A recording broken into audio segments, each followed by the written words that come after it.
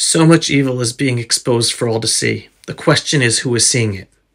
Let's talk about this evil on display front and center at the recent Oscars award ceremony. This pin is uh, for artists for ceasefire. We have so many artists here tonight wearing it. Uh, we're all calling for an immediate and permanent ceasefire. Tons of celebrities wore this red pin at the Oscars, supposedly to symbolize their support for a ceasefire in the Gaza war. Let's break this down. Number one, this call for a ceasefire now is not calling for Hamas to release our Jewish captives that they are torturing and sexually abusing in Gaza for over 150 days. It's not even calling upon Iran or Qatar, the financial sponsors of Hamas, to surrender and end this war. No, no, no, no. The ceasefire now slogan is about stopping Israel from doing what we have to do to end the evil Arab Muslim terror entity in Gaza from ever being able to massacre us again and to stop us from freeing our captives in Gaza. Number two, now let's talk about this red pin. You see the design of a red hand? It was designed originally to celebrate the brutal lynching of two Israelis back in the year 2000 in Ramallah. That hand on the pin in red is this guy's hand covered in red blood after he was involved in brutally murdering those two Israelis and dumping their bodies out of that Palestinian Authority police station window.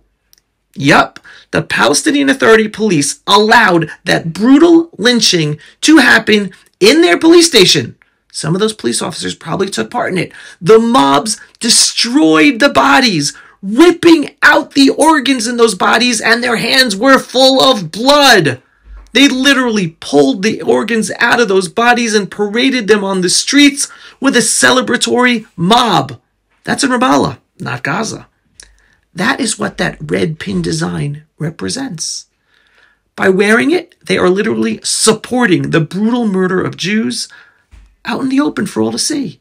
Yet they think they are so high and moral by calling for the world to stop Israel from protecting Israeli citizens via ceasefire now?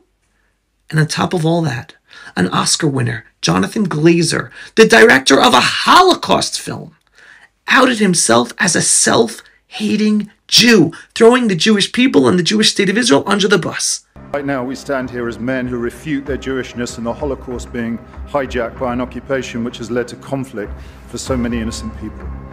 Glazer took advantage of his Oscar acceptance speech to literally refute his Jewishness and blame Israel basically for all the death and violence.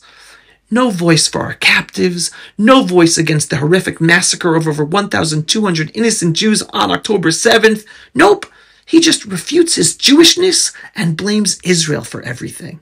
That's what we call a self hating Jew. My message to Mr. Glazer is simple. The Jewish people have always had self hating Jews. Those who helped the Nazis, like George Soros. Those who converted to Christianity during the Middle Ages and then tried to destroy the Jews, like Dominican friar Pablo Cristiani.